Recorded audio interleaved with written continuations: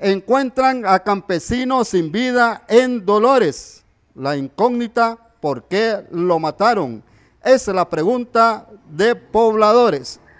Su nombre era Juan Pascual Hernández, un jornalero de 60 años muy querido en la zona de Paso Real.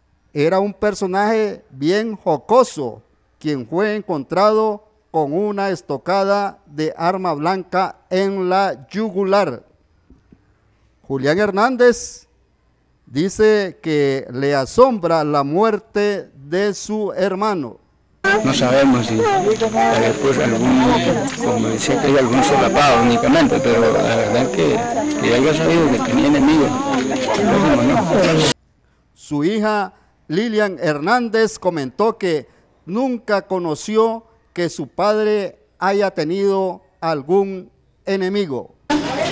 Cuando como eso de las 11, iban a, la, entre las 11 y las 12 me dieron la noticia de que lo habían tirado, decían, pues, y hasta ahí pues yo no sabía que si es que solo estaba herido o estaba muerto. Con cámara de Eliezer Blas en Canazo para Noticias 12, informó Manuel Medrano.